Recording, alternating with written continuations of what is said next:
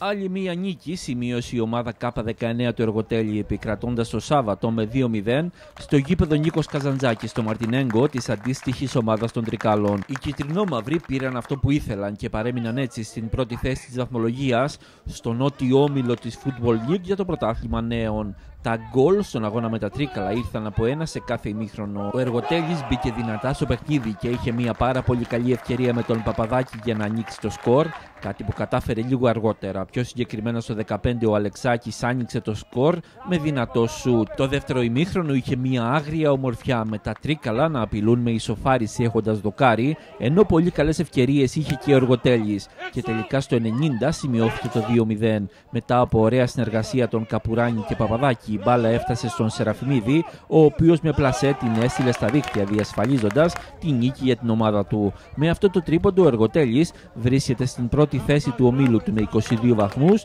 να ακολουθεί με έναν βαθμό λιγότερο η Παναχαϊκή. Ε, ήταν ένα πολύ ιδιαίτερο παιχνίδι σήμερα, καθώς είχαμε να αντιμετωπίσουμε ένα πολύ καλό αντίπαλο με καλή αμυντική οργάνωση και είχε και ακόμα μια ιδιαιτερότητα ότι εμείς ε, ήμασταν εδώ σήμερα χωρίς τον προπονητή μας και κάποιες υποχρεώσεις και έπρεπε να λείπει.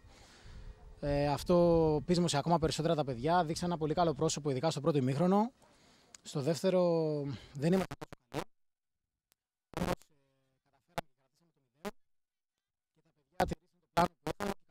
ακόμα προσπάθειά τους από την εμπιστοσύνη που μου έδειξαν σε όλη τη διάρκεια που έλειπε ο προπονητής μας. Μπήκαμε από το πρώτο λεπτό δυνατά, θέλοντας να παραμείνουμε στην πρώτη θέση. Είναι πολύ σημαντικό για μας.